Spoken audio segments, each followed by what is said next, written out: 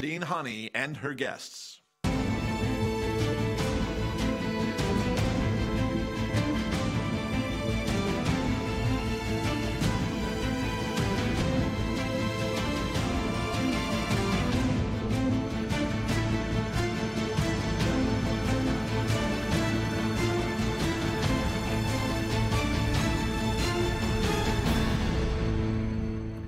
Ladies and gentlemen, good afternoon. Thank you very much for joining us.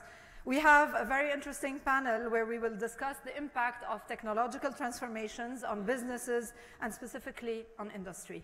We have with us uh, an esteemed panel. Let me introduce our speakers.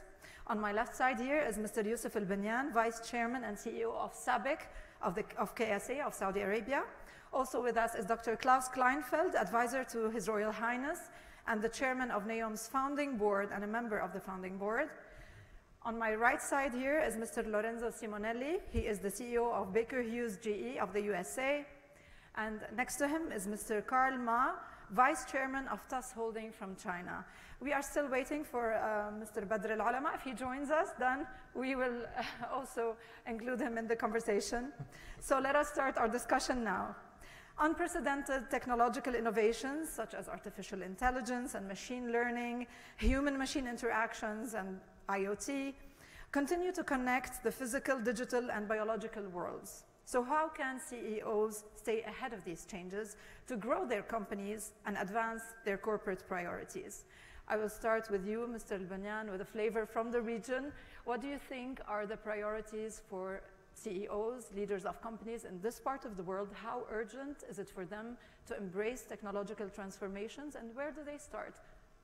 Uh, first of all, uh, thank you, Nadine. This is really a wonderful platform for SABIC, and I think the all investors to participate for the second year in FII.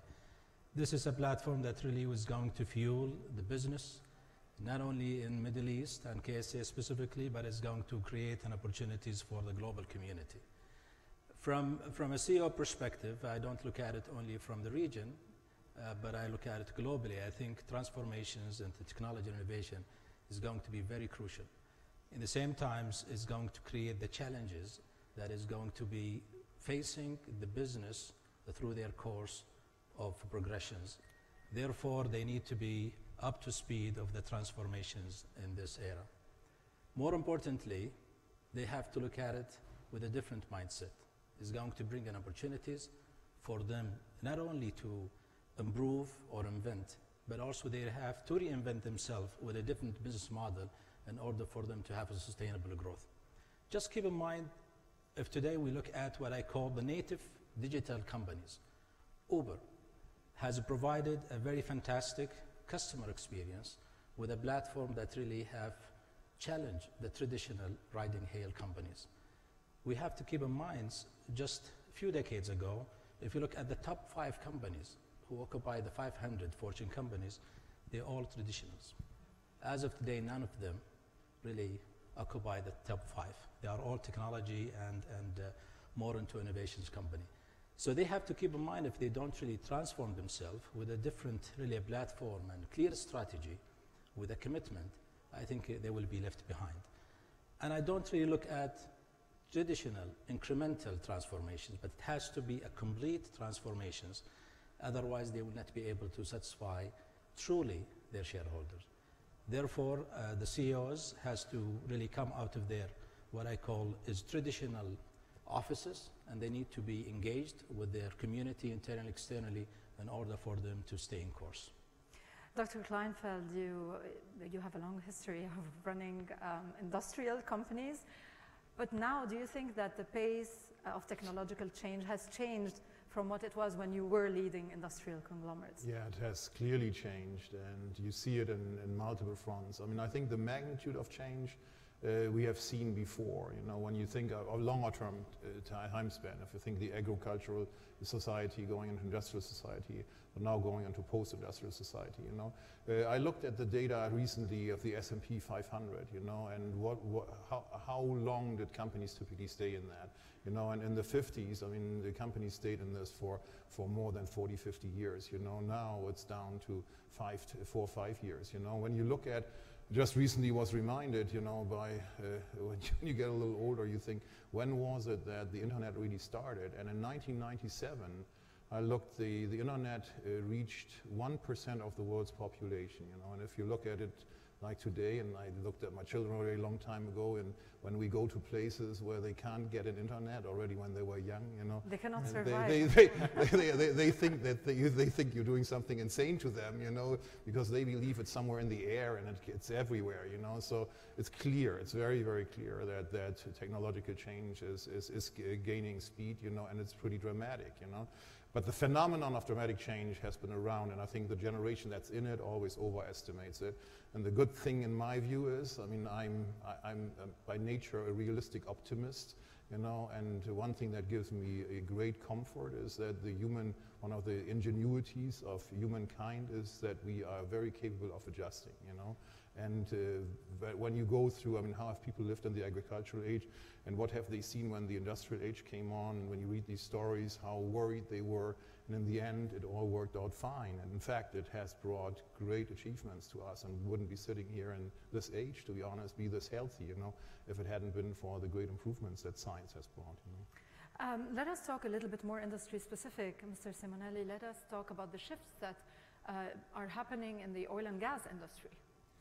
Yes, if you look at the oil and gas industry, uh, technology is very important, and very much so now as we go through the energy transition and also the ecological and environmental impact that our industry has. So you look at it from a standpoint of productivity, first of all.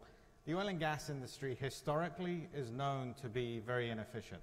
If you look at extraction rates, at best, you're looking at just above 50%. You're looking at non productive time, and so technology really helps us to drive productivity. But then you look at where the resource is as well. It's not always in the best places uh, from a perspective of uh, hard to reach and also the terrain, the climate. Have the logistical element. Logistical element that's very tough. And so you look at the changing uh, views of uh, the labor force, they actually don't want to spend time there. They don't want to be in these uh, locations. And so being able to apply technology and also use digital to enable the extraction to take place. And thirdly, when you look at also the whole aspect of the environmental, uh, there are better ways to actually have less of a carbon footprint while we're utilizing this great resource of oil and gas. So we're going through, I think, really an era where technology is critical for us to advance the industry forward. We all know we need energy. We know that oil and gas has a key role to play. Well, we've got to innovate with technology and disrupt the industry with, as we go forward. What are the successful uh, stories there? Successful stories are, first of all, by applying uh, data and being able to capture data, we can actually drive non-productive time down. So you can predict when a failure will take place. You look at remote operations. You can now actually have um, machines that are guided from a central location, even though they're thousands of miles away. And so that helps with the labor aspect. And then on the environmental footprint, measuring CO2, actually having all of the uh, aspects from sensors and metrics in place so that we know what the environmental footprint is and the carbon footprint of what we're doing from an ecological perspective. Um, Mr. Ma, I'd like to ask you about uh, the industry in China.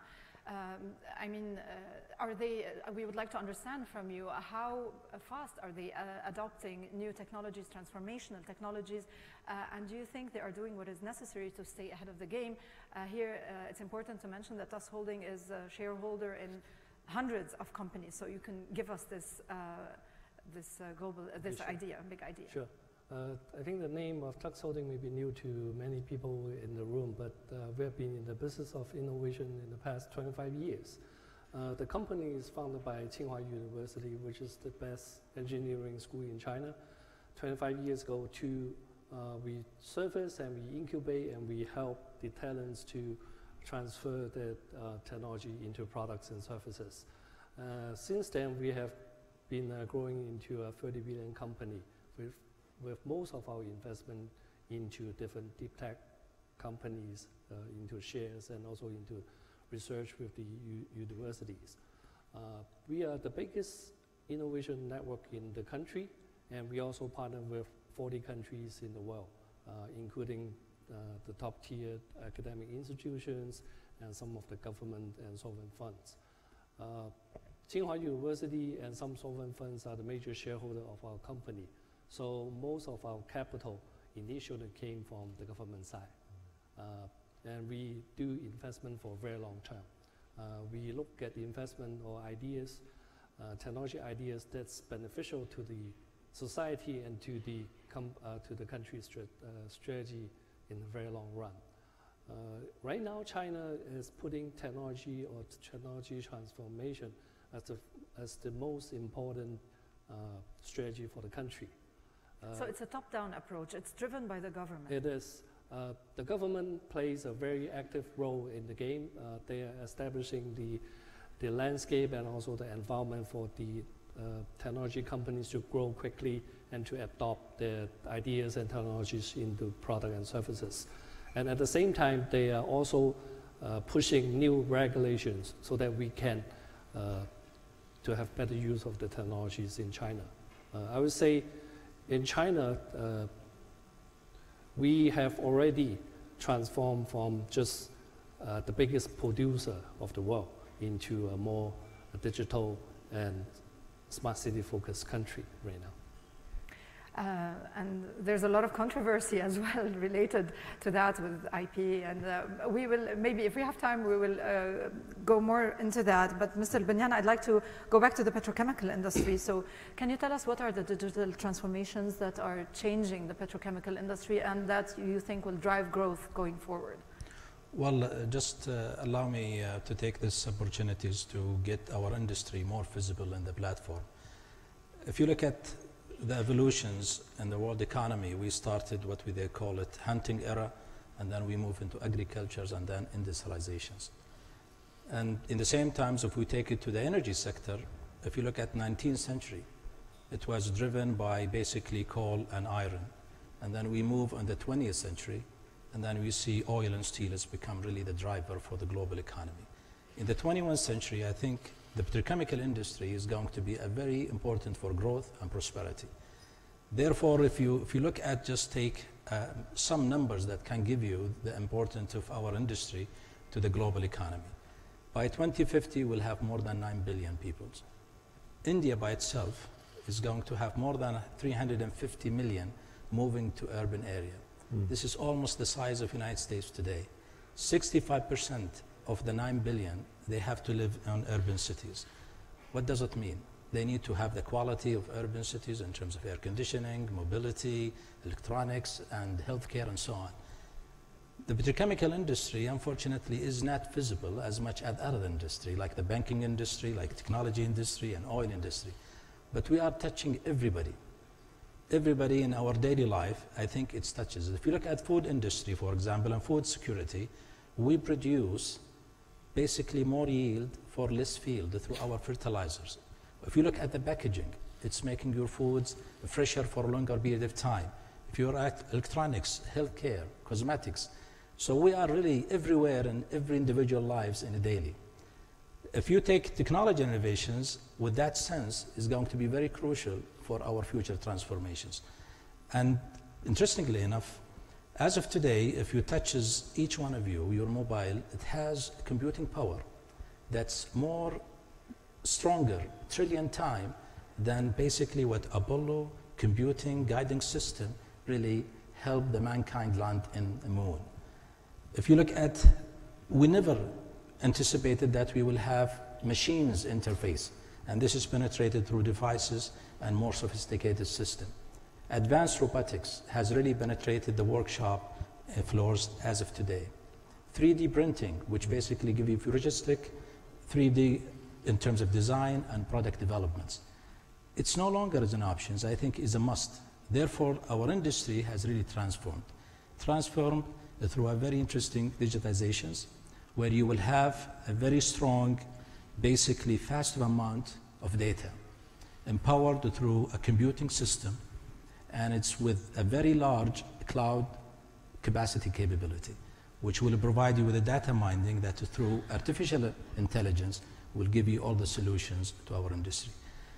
For our technology is not going to be options in, within the chemical industry. Therefore, we have committed and we have seen all the major players in the petrochemical industry investing so much in technology transformation. And of course, SABIC is one of them, in order for us to cope with, with uh, the demands of the people and, of course, to serve the global GDP growth. Dr. Kleinfeld, if we look today at the emerging technologies, which do you think are, is the most exciting that will have the most impact on businesses, but also human life, do you think? Yeah, there's a, a, lot going on, and you mentioned a lot of those, and, and I, from my past life, could get very excited about uh, the material sciences and 3D printing, you know, that opens up a lot. But if I look at which one would I think has the biggest impact, I would say artificial intelligence clearly has the biggest impact on all of us, right? And, and because there's really no field, um, really no field. I mean, I originally thought there are some fields that will will not be affected by it. But I really do believe there's no field that will not be affected by it, you know, and the speed in which this is improving is, is actually very, very fast. I mean, if you look at uh, the, the, Go, the, the gentleman uh, who was defeated by, by the, the, the Go game, you know, and, and he, he made a press conference before the, the, the, day before he started playing and saying it takes 10 years and then he was defeated hands down. A year later when a friend of mine met with him and had a discussion and said, well, how do you look at that? I mean, going out publicly and saying, you know what, I don't, I don't worry about this. I will beat the machine for 10 years and then get Spacey pushed out. You know what he said a year later? There has not been any other game in my life than those games that I played where I've learned more about playing Go.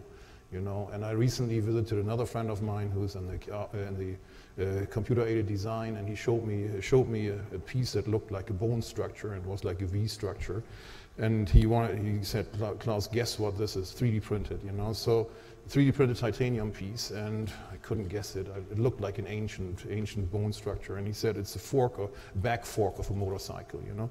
And I looked at it and I said, no, this cannot be. It's wrongly designed, you know? And, and he said, well, why do you think it's wrongly designed? He said, because it's not symmetric. Everybody learns and learns in engineering school that the fork of a motorbike or, or, or a bicycle is symmetric.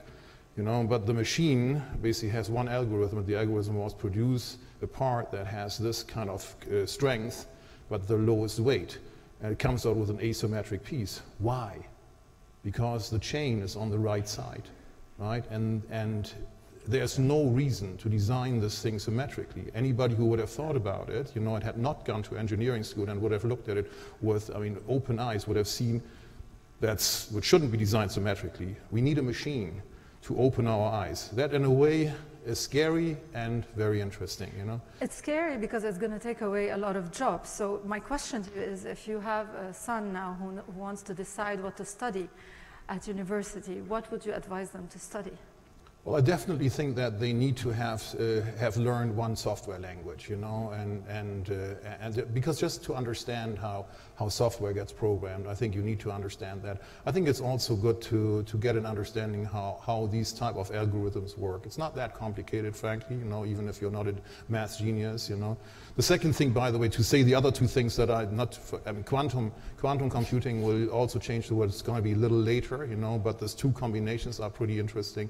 And then everything that's happened on the biotech, on the biotech world, is going to have a big impact.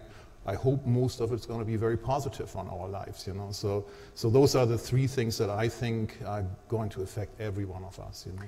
Uh, let's go back to the oil and gas industry. Uh, Baker Hughes GE is involved in uh, the digitalization of uh, the oil and gas industry. So can you tell us uh, what are the main um, endeavors that you are doing in that sense? Yeah, maybe just um, a few words on Baker Hughes GE, because we actually seized the opportunity of looking at the industry and the inefficiencies and said, how can we go across the value chain? So from extraction all the way down to the downstream and also the petrochemical how can we take away the silos and be able to look at it from a holistic basis, wing to wing?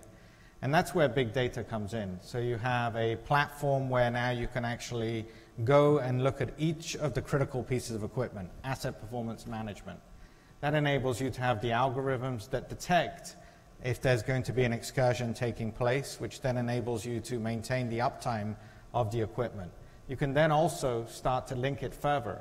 If you think about reservoir productivity, you take the elements of the reservoir and the different contents of the reservoir, and now you marry it up with how best to set up the equipment so that you can increase production at the same time.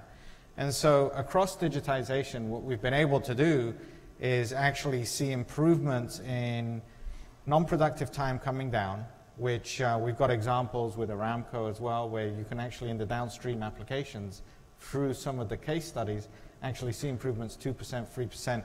That may sound small, but it's hundreds of millions of dollars when you actually look at the quantity that's flowing through, all the way to also increasing the production. And we think that uh, it's not necessarily going to take away from the labor force. It's a reskilling, though, of the labor force. And that's one thing that you mentioned, the impact on the labor force.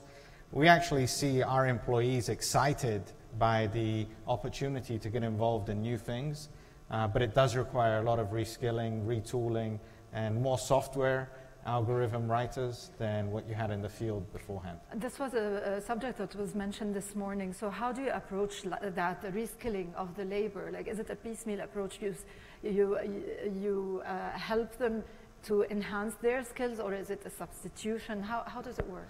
So you have to look at it again from uh, the outset of where are you going to be at the end. And it's holistically a program that you have to start from the introductory level. So you go to uh, mid, middle school, and then you go through university. You then take people in their current jobs and reskill them. We've got a program uh, today also where we're re reskilling our employees. And so you want to make sure that at the end you've got the pipeline. Uh, but you have to do it from the school all the way upwards. And uh, again, if you start early enough and you have a comprehensive program, uh, you'll actually find the talent available. The biggest thing is uh, making sure that we make the industry fun again from an oil and gas perspective because we've got a tarnished view out there. Uh, and again, that comes into the energy transitions where people think it's a, a dirty industry. It's far from dirty. It's actually got a lot of technology, a lot of data, and a lot of capability to enrich people's lives. Yeah, that's the historical view that, that has been there.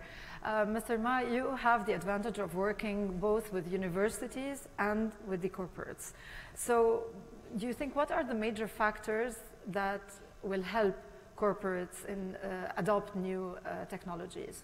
Okay, the, I will give you an example. You know what was happening in China.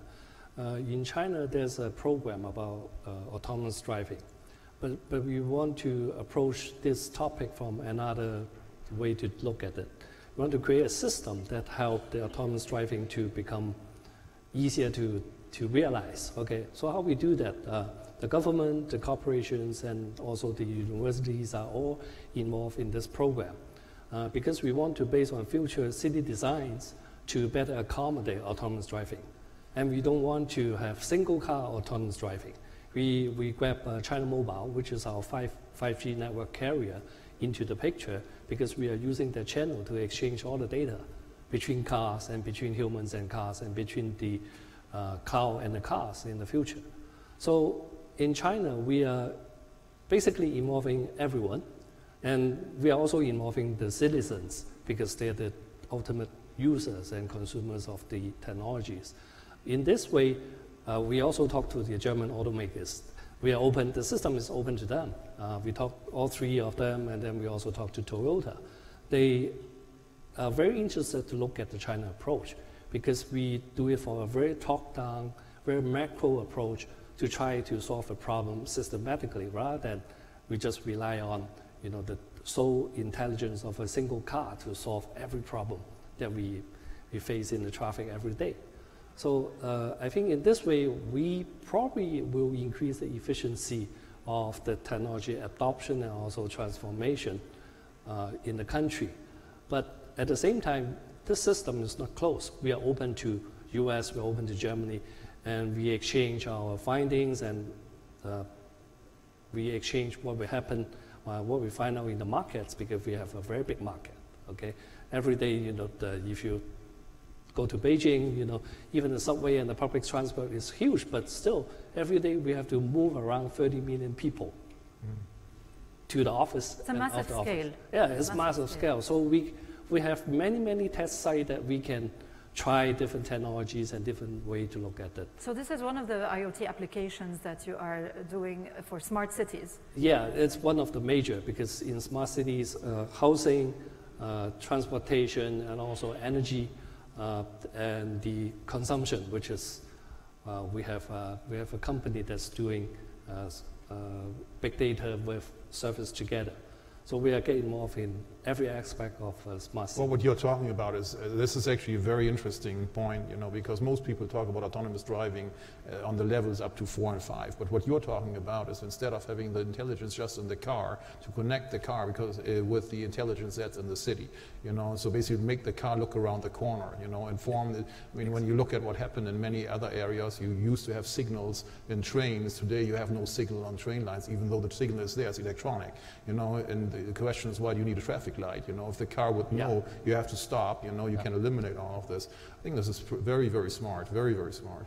And Dr. Kleinfeld, since you are on the uh, founding board of NEOM, can you tell us what are the priorities for, uh, for setting up this city? We're, we're, talking about a smart city yes, here. Yes, So no. what are the priorities? Well, first of all, NEOM is so big that it's not just one city. It's, I, I don't even want to use the word city because I'm not so sure that the future life is the city life is the most attractive. If you could create a life, you know, that's more a village life, because we know that happiness and longevity is very strongly connected to sense of community.